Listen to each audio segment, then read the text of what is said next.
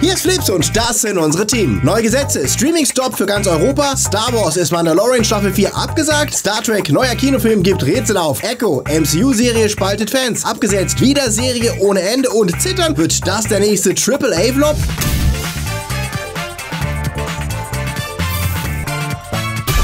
Vielen Dank an unsere Unterstützer, die Guardians. Akira Nana, Dennis Heide, Lampi, Black Can Touch, Black Shadow, Hans-Joachim Meyer, Erky Turkey, Harm, Kim Jona Taco, Kinero, Chaos Prinzessin, Ulrike und Jasmin, Stage Guy, Kinocheck.de, Michael Traxler, Hey Aaron, MJ85, Ignomi 1, Ronzen 182, Dekonni, Swafnierson, Tony Barth, Daniel Schuh, der Twarslöper, JFK Faker, T-Unit CB und Luca Kamens. Und einen riesigen Dank auch an unsere Hitchhiker und an unsere Spotlighter. Danke, dass ihr diese Sendung unterstützt und überhaupt erst möglich macht. Und danke natürlich auch an euch, die Flips Community. Flips wird diese Woche unterstützt von Wow. Es ist dunkel, es ist kalt und grau, keiner hat jetzt Bock rauszugehen. Was gibt's da besseres, als sich warm einzurollen und eine spannende Thriller-Serie zu genießen? Da passt es doch perfekt, dass morgen die heiß erwartete vierte Staffel der Kultserie True Detective exklusiv bei Wow startet. Nach fünf Jahren Pause gibt's endlich eine ganz neue Story, wie immer mit komplett neuer Besetzung. Und dieses Mal spielt Jodie Foster die Hauptrolle als Ermittlerin Liz Danvers, die mit einem wirklich bizarren Fall konfrontiert wird. Im nördlichen Alaska verschwindet die komplette Besatzung der Arktis-Forschungsstation Zala spurlos. Es gibt keinerlei Anzeichen einer Abreise, in der Station laufen Fernseher und das Licht ist an. Doch dann macht Danvers einen grausamen Fund und findet die Nachricht, wir sind alle tot,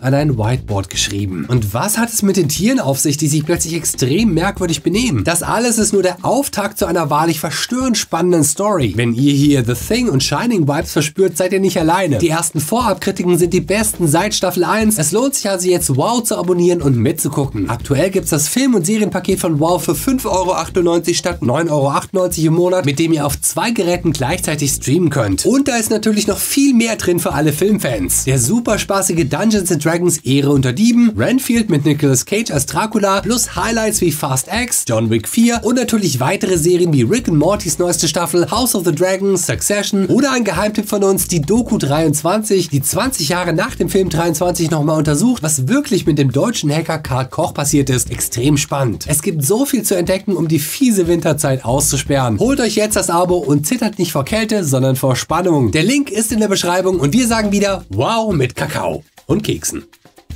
Willkommen, Wuffels, zur 362. Folge der Flips News mit Maniac und mir, dem Batz, der heute ziemlich angegrippt ist und deswegen sorry für die Stimme. Trotzdem gibt's natürlich nochmal die News der Woche vor unserem traditionellen Januar-Break, bevor wir dann zwei Wochen aussetzen. Wenn ihr nichts verpassen wollt, wenn es weitergeht, lasst auf jeden Fall ein Follow da, sowohl auf YouTube wie auch auf Instagram, denn da geht's wie gewohnt weiter ohne Pause und auch auf Patreon bekommt ihr natürlich zwischendurch exklusiven Content geliefert für unsere Abonnenten dort. Die Charts und Starts wurden wieder etwas durcheinandergewirbelt und das hieß für Jason Momoas Aquaman and the Lost Kingdom nochmal einen Platz runter. Der König der Meere bleibt in Deutschland eher mittel, hat aber immerhin eine knappe Million Zuschauer erreicht mittlerweile. Weltweit steht er bei 339 Millionen Dollar, was einerseits schon jetzt besser ist als alle anderen DC-Filme des letzten Jahres und verglichen mit The Flash ein echter Win. Aber natürlich enttäuschend, wenn Teil 1 von Aquaman damals 1,1 Milliarde Dollar einspielte, was scheinbar den Trend fortsetzt, dass alle Sequels von DC schlechter liefen als ihre ersten Teile. Dasselbe gilt auch für Shazam und Wonder Woman und das Squad. Andererseits dafür, dass der Film nach chaotischer Produktion, vielen Verschiebungen, Reshoots, miesen Kritiken als letzter Film vor dem gesamten Reboot des DC-Universums läuft, schlägt er sich nach schwachem Start deutlich besser als erwartet. Humor und Regisseur James Wan zeigen also, dass sie doch irgendwas richtig machen, zumindest fürs Publikum. Platz Nummer 4, also ein Platz besser als in seiner Startwoche, der Junge und der Raya, der neueste und mal wieder letzte Ghibli von Hayao Miyazaki, der auch in Deutschland seine Fans findet und mittlerweile schon 355.000 Zuschauer verzeichnen kann. Ein sehr stolzes Ergebnis. Auf Platz 3 klammert sich immer noch Timothy Chalamet, der singende Schokolatier, der beweist, dass Musicals zwar polarisieren, aber immer noch für richtiges Box-Office gut sind. Über 2 Millionen Zuschauer haben ihn inzwischen bei seiner süßen Vendetta gegen die Schokoschurken besucht. Platz 2 geht an die Entenhaus raus aus dem Teich, der seine Spitzenposition von letzter Woche räumen musste. Illuminations Geflügelbrigade wurde vertrieben vom neuen Spitzenreiter Jason Statham als ballernder Beekeeper in David Ayers neuestem Actionfilm, setzt sich auf den Thron mit 175.000 Besuchern innerhalb weniger Tage. Er ist ja erst diese Woche gestartet. Und wenn wir auf die Neustarts am kommenden Donnerstag schauen, hat er gute Chancen, sich zu behaupten, denn richtig große Konkurrenz gibt es nicht. Poor Things mit Emma Stone ist so ein hochspannender Sci-Fi-Retro-Film über eine Frau, die von einem verrückten Wissenschaftler im viktorianischen London wieder zum Leben erweckt wird, mit dem Gehirn eines Säuglings in ihrem Kopf. Doch er spricht wohl eine sehr andere Zielgruppe an als Beekeeper. Der Film von Regisseur Yorgos Lathimos, der international durch The Lobster bekannt wurde, liefert eine visuell herausragende, surreal, schwarzhumorige Story ab, die obendrein eine exzellente Besetzung hat. Willem Dafoe und Mark Ruffalo sind neben Stone in den Hauptrollen zu sehen. Die Kritikerkollegen sind durch die Bank begeistert, die Zuschauer auch, denn der Film lief schon im letzten Dezember in den USA an und ist jetzt auch bei uns zu sehen. Also ein eindeutiger Anschautipp, wenn ihr mal etwas anderes sehen wollt. Und apropos Filmtipps, schaut auch unbedingt ins Video vom Freitag rein. Da haben wir mal aufgelistet, worauf ihr euch generell dieses Jahr freuen könntet. Und da sind eben nicht nur die großen Filme, die eh schon jeder auf dem Schirm hat, sondern auch einige Geheimtipps. Schaut da im Anschluss auf jeden Fall mal rein für euren Überblick über das ganze Jahr 2024. Jetzt aber erstmal wieder die Frage, was habt ihr zuletzt geschaut und was wollt ihr als nächstes sehen und wie gefiel es euch? Sagt es uns in den Kommentaren. Star Trek kommt zurück ins Kino. Ja, Paramount plant laut Deadline tatsächlich wieder einen Kinoeinsatz für Trek, das sich seit dem finanziell eher gefloppten Star Trek Beyond 2016 ja in Streaming verabschiedet hatte und dort zuletzt mit der dritten Staffel der Picard-Serie und Strange New Worlds viele neue, aber auch alte Fans wieder begeistern konnte. Der Erfolg weckt wohl auch Box-Office-Begehrlichkeiten jetzt, denn natürlich ist ein Film immer viel lukrativer als eine Serie nur für Paramount Plus. Laut Deadline arbeitet Seth Graham Smith an einem Drehbuch, das Toby Haynes verfilmen soll. Keine so schlechte Wahl. Smith hat zuvor unter anderem den Lego Batman-Film geschrieben und Haynes ist ein erfahrener TV-Regisseur, der auch schon Episoden für Doctor Who, Black Mirror und die meisten Folgen der großartigen Serie Andor gedreht hat, sich also auch auskennt mit Sci-Fi und dramatischen Stories. Worum es geht oder welche Crew beim Film im Zentrum stehen soll, das ist noch unklar und gibt Rätsel auf. Bisher ist nur bekannt, dass es eine Origin-Story sein soll, die Jahre vor J.J. Abrams Reboot-Film spielt. Gleichzeitig heißt es, ein vierter Teil mit eben dieser Reboot-Crew um Chris Pine als Kirk und Zachary Quinto als Spock sei weiterhin noch in der Entwicklung, ist also auch nicht ausgeschlossen. Wahrscheinlich ist, dass der neue Film erstmal das Wasser antestet, wie gut Track denn jetzt im Kino läuft, um dann weitere Filme nachzuschieben. Genug neue Crews gibt's ja mittlerweile, die alle auf ihr großes Abenteuer warten. Wir würden uns jedenfalls freuen über neue Kinotracks. Ihr auch? Sagt es uns. Und wenn wir gerade von Kinorückkehr reden, Star Wars versucht ja auch seit dem Episode 9 die Sequels begrub, ein Kino-Comeback und die Zahl der angekündigten und nie umgesetzten Projekte seitdem könnte eine eigene Galaxis füllen. Doch während wir skeptisch bleiben, ob das Projekt mit Daisy Ridley's Ray oder der Standalone High Republic Film wirklich kommen werden, sind wir ziemlich zuversichtlich, dass Dave Filoni seinen Kinofilm bekommt, der dann seine Clone Wars Storylines abschließt. Doch auch sein Mando Co-Creator John Favreau dürfte sich diese Woche freuen, denn Lucasfilm verkündete, dass noch in diesem Jahr die Produktion von The Mandalorian and Grogu startet. Und ja, sie bestätigt nebenbei auch nochmal, dass Ahsoka definitiv eine zweite Staffel bekommen wird. Die Ankündigung lässt natürlich viel Raum für Spekulation. Zum einen, warum dieser Film jetzt kommen soll, nachdem bisher immer Staffel 4 von Mandalorian angekündigt war. Und was aus der Staffel wird. Hat sich Lucasfilm vielleicht im Zuge von Disneys Sparoffensive und dem Fokus auf mehr Geld verdienen vielleicht entschieden, lieber erstmal einen Film zu drehen, der wirklich Geld einspielt im Kino, statt eine weitere teure Staffel, die im Stream verheizt wird? Vor den Hollywood Strikes hatte Favreau ja noch erklärt, er habe die Skripts für Staffel 4 schon geschrieben und der Mando-Performer Brandon Wayne sagte nach dem Streik, wir bereiten uns gerade alle wieder auf den Dreh vor. Wenn wir bedenken, wie viel Füllermaterial in den bisherigen Staffeln war, wäre es natürlich denkbar, dass die Staffel einfach auf einen Film eingedampft wird. Und nachdem es Gerüchte darüber gab, dass Favreau insgesamt mit Staffel 3 und der Stimmung bei Lucasfilm unzufrieden war und auch mit anderen Entscheidungen der Führungsetage, da könnte das Ganze vielleicht ein Friedensangebot von Disney sein, ihm jetzt auch einen Film zu geben, damit er sich neben Dave Filoni nicht schlechter behandelt fühlt. Quasi Win-Win, denn mit der Routine der Serie könnte es auch deutlich günstiger sein, den Film jetzt zu drehen, weil viele Designs und Settings schon erstellt wurden. Vorteil wäre, Disney macht Kasse im Kino, Favreau ist happy und das, was von den Serienskripten für den Film nicht benutzt wurde, könnte dann später für die tatsächliche Season 4 genutzt werden. Andere Theorie, Favreau erzählt Mando und Grogu Story weiter im Film, während die Serie sich auf Bo-Katan fokussiert, was ja schon angedeutet wurde in der letzten Staffel und der ebenfalls dann noch dieses Jahr gedreht wird. Quasi Mando Duo ohne Dingerin. Was denkt ihr und was wollt ihr eigentlich lieber sehen? Lieber eine ganz normale vierte Staffel mit den beiden oder einen Kinofilm mit den beiden und Bo-Katan oder alles gemischt? Sagt es uns in den Kommentaren. Ist unser aller Streaming in Gefahr, nachdem viele Kunden gerade die Amazon Prime Preiserhöhung bzw. die Umstellung auf Werbung im Stream verdauen, über die wir ja letzte Woche berichtet haben, setzt der Konzern auch intern weiter auf Geld sparen und das heißt wie immer Leute feuern. Hunderte von Mitarbeitern weltweit werden rausgeworfen, unter anderem auch bei MGM's Television Production und MGM Studio, die Amazon ja vor einer Weile übernommen hatte und jetzt in Amazon Studios integriert. Die Meldung darüber macht uns vor allem Sorgen,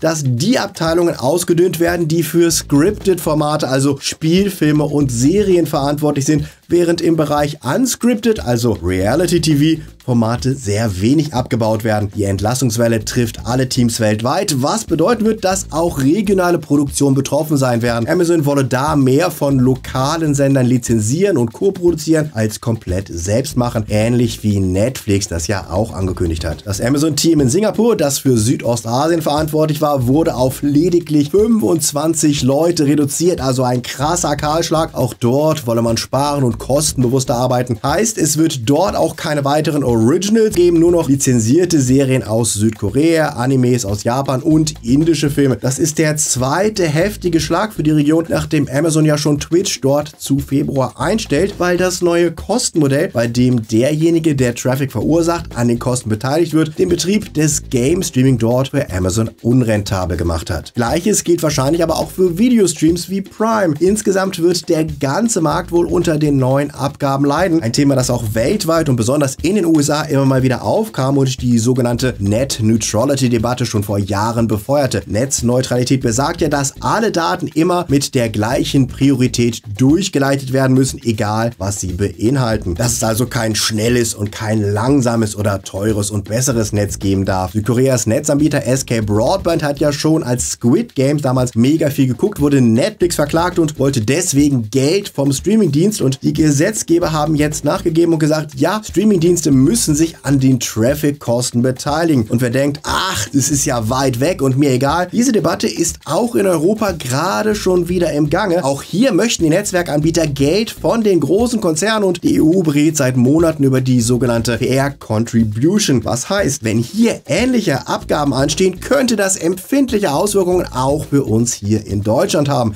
Denn Netflix, YouTube, Amazon, Disney und Co. würden denn auch für alle Videostreams zur Kasse gebeten, die ihr guckt und könnten sich entschließen, entweder die Qualität vom Streaming zu reduzieren, um die Datenmenge kleiner zu halten oder die Kosten einfach an die Kunden weiterzugeben oder im schlimmsten Fall sich ganz aus dem Markt zurückzuziehen, wenn sich das Ganze finanziell nicht mehr lohnt. Noch ist in Europa nichts entschieden und das wird sicherlich auch noch etliche Monate dauern, aber wie wir bei Amazon sehen, kann das Ganze dann doch im Endeffekt schneller gehen, als ihr denkt. Was haltet ihr von solchen Traffic-Auf Aufschlägen für große Konzerne, ist das gerechtfertigt? Oder wollt ihr das auch lieber nicht aus Angst, dass wir dann vielleicht auch bald kein Twitch oder andere Dienste mehr haben? Lasst es uns wissen in den Kommentaren. Serien. MCUs Echo-Serie ist da und wer will, kann sie jetzt schon komplett anschauen. Ein ungewöhnlicher Move von Disney, die ihre Shows normalerweise eher wöchentlich veröffentlichen, so wie es derzeit mit der sehr coolen Percy Jackson-Serie passiert. Der letzte Folge uns übrigens wieder sehr viel Spaß gemacht hat, was wir von Echo nur so bedingt sagen können, auch wenn wir bisher erst drei Folgen gesehen haben. Einerseits ist es eine wunderbar besetzte Serie, die auch visuell einiges hermacht. Andererseits ist Folge 1 basically ein halbstündiges Recap, ehe es dann mal losgeht und tonal sitzt die Show etwas zwischen den Stühlen. Sie ist ein Spin-off von Hawkeye, doch Fans von der Serie müssen sich ziemlich umgewöhnen, weil die Serie wenig vom Style, Scope und Stimmung der Show weiterführt. Echo ist sehr humorfrei und als Charakter kommt sie jetzt nicht unbedingt wahnsinnig sympathisch rüber. Zumindest verglichen mit Kate Bishop und zuletzt Miss Marvel. Klar ist es cool, eine stumme Heldin mit Beinprothese zu haben und der Native Background gibt der Supporting Cast einige sehr interessante Szenen. Andererseits ist Echo mit ihrer Ich will aber Gangster Queen werden und Kingpin beerben Attitüde jetzt nicht so anders von den typischen Seriengangsterhelden, die wir schon hundertmal gesehen haben. Und auch wenn sich die Serie eher an den Netflix Marvel Shows und Daredevil orientiert von der Härte und Stimmung und den ausgedehnten Fight Scenes, auch die Fans der alten Shows sind teilweise irritiert, denn natürlich gibt es auch Änderungen zur Continuity. Der Kingpin wird zwar weiterhin von Vincent D'Onofrio gespielt, kleidet und verhält sich aber dann doch etwas anders als vorher und natürlich wurde Echo als quasi seine Adoptivtochter geredconnt, von der früher nie die Rede war. Und umgekehrt spielte der Kingpin im MCU bisher keine Rolle, auch wenn er in der Defender Defenders-Seriensaga ja mega einflussreich und wichtig war. Und während der Daredevil Kingpin mächtig, aber doch menschlich war, wirkt die MCU-Version deutlich stärker und übermächtiger. Viele Änderungen, die auch einen Vorgeschmack auf das Daredevil-Reboot geben, das ja derzeit produziert wird und schon jetzt mehrere Wechsel hinter den Kulissen erlebte. Die Post-Credit-Scene deutet ja schon eine Entwicklung für die neue Serie an. Die Kritik und das Publikum sind vielleicht deswegen auch eher gespalten, was die Echo-Serie angeht. Habt ihr sie schon geschaut und wie gefiel euch Echo? Sagt's uns. Erfolg ist kein Garant für Fortsetzungen und diese Woche bekamen mal wieder alle Pessimisten recht, die mittlerweile keine Serie mehr anfangen, bevor sie komplett veröffentlicht ist, aus Angst, sie könnte vor dem Ende abgesetzt werden. Taika Waititis Piratenserie Our Flag Means Death hat ja vor zwei Jahren nicht nur grandiose Kritiken, sondern auch wirklich gute Quoten für Max, beziehungsweise damals noch HBO Max eingefahren. Die satirische Drama-Comedy über den unerfahrenen Gentleman-Piraten Bonnet, der auf den von Waititi gespielten Blackbeard trifft, konnte ein großes Fandom begeistern und erreichte insgesamt bessere Streaming-Zahlen als viele MCU-Serien. Was Warner Discovery nicht daran hinderte, das Budget für Staffel 2 mal um krasse 40% zu kürzen, was das komplette Umschreiben der Story erforderte und viel Findigkeit der Macher trotzdem noch eine coole Staffel abzuliefern. Doch anscheinend war auch das nicht genug. Trotz sehr guter Quoten wurde Our Flag Means Death jetzt abgesetzt. Und das nur eine Staffel, bevor die Geschichte eh zu Ende erzählt war, denn Showrunner Steven Jenkins hatte sie von Anfang an auf drei Seasons konzipiert. Mal wieder super ätzend für alle Fans, die jetzt versuchen, eine Rettungskampagne in Gang zu bringen, damit vielleicht ein anderer Streamer die Show weiterführt. Nachdem immer noch gerätselt wird, warum die Show, die so gut lief und beste Kritiken hatte, abgesetzt wurde, auch wenn einige Fans durchaus vermuten, dass es etwas damit zu tun haben könnte, dass David Zaslav ein eher konservativer Dude ist und die Serie mit ihrer Love Story zwischen den beiden Piraten-Captains einfach nicht in die Neuausrichtung von Max passt. Habt ihr die Show geschaut und gemocht? Sagt es uns. Netflix präsentierte diese Woche eine neue sehenswerte Serie. Boy Swallows Universe basiert auf dem gleichnamigen autobiografischen Roman von Trent Dalton und erzählt von seiner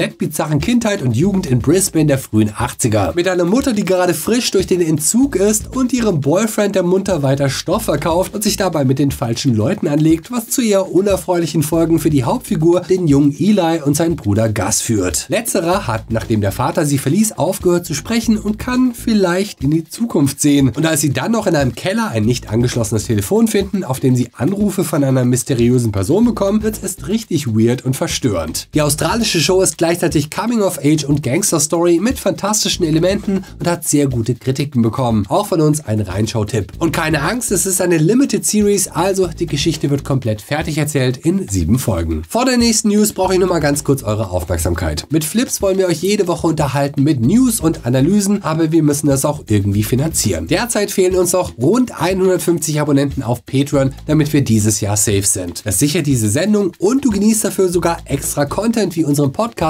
und Bonusvideos. Es gibt verschiedene Stufen vom Padawan für 2 Euro über Hitchhiker für 42 Euro bis hin zum Guardian, bei dem wir sogar deinen Namen in der Sendung vorlesen. Der Link ist hier, support your local YouTuber. Gaming hatte auch wieder einiges an News diese Woche. Unity führt nämlich den Trend der Branche weiter und entlässt auch nochmal 1800 Leute. Das sind ein Viertel aller ihrer Angestellten. Die Firma, die neben Epic Games Unreal Engine, die verbreiteste Game Engine der Welt produziert, hatte ja im vergangenen Jahr einen selbstverschuldeten PR-Gau erlebt, als sie erst eine sehr unvorteilhafte Lizenz- und Preispolitik einführten und dann eilig zurückruderten, nachdem viele Developer ankündigten, nie wieder mit Unity arbeiten zu wollen in ihren Spielen. Die Kündigungswelle jetzt solle den Reset der Firma einleiten, der eine Konzentration auf ihre Kernprodukte erzwingt. Wie immer, Fehlentscheidungen der Führungsebene werden auf Kosten der Mitarbeiter geregelt. Etwas, was die Gaming-Branche ja letztes Jahr ständig erlebte. Und angesichts dieser Entwicklung wird auch der Februar-Release von Rocksteadys neuesten Game um die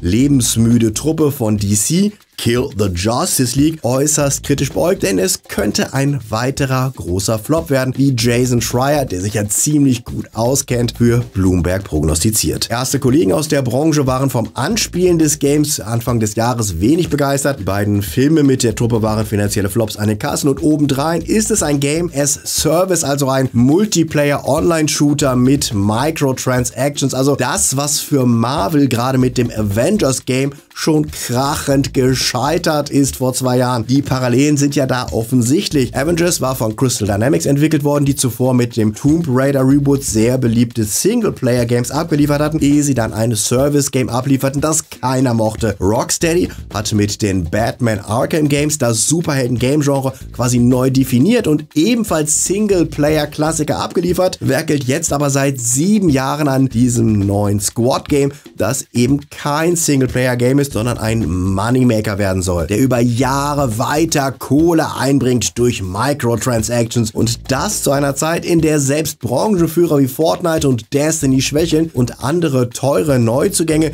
wie Anthem und Redfall kurz nach dem Start eingestellt wurden. Es steht also viel auf dem Spiel im wahrsten Sinne des Wortes und ein neuerlicher Flop ist da nicht ausgeschlossen. Doch einen Hoffnungsschimmer, den sieht Jason Schreier. Wenn der Squad scheitert, darf Rocksteady sich vielleicht doch wieder auf gute Singleplayer-Spiele konzentrieren. Wie steht ihr dazu? Seid ihr gespannt drauf oder ist es euch doch eher egal? Mögt ihr solche Microtransaction-Multiplayer-Shooter oder spielt ihr lieber für euch oder ganz anderes im Multiplayer-Bereich? Oder sagt ihr, ich habe immer noch Baldur's Gate nicht durch, so wie ich? Dann schreibt es uns in die Kommentare. Und jetzt noch ein Riesendank an alle Unterstützer auf Patreon, ohne die wir Flips nicht finanzieren könnten, wie unsere Patrone hier und Timelords. Den Link zum Unterstützen und zum Extra-Content genießen auch in der Pause. Der ist in der Videobeschreibung. Rechts findest du unseren Anschau-Tipp mit dem Überblick über das ganze Jahr. Genießt den Sonntag und wir sehen uns dann Anfang Februar wieder.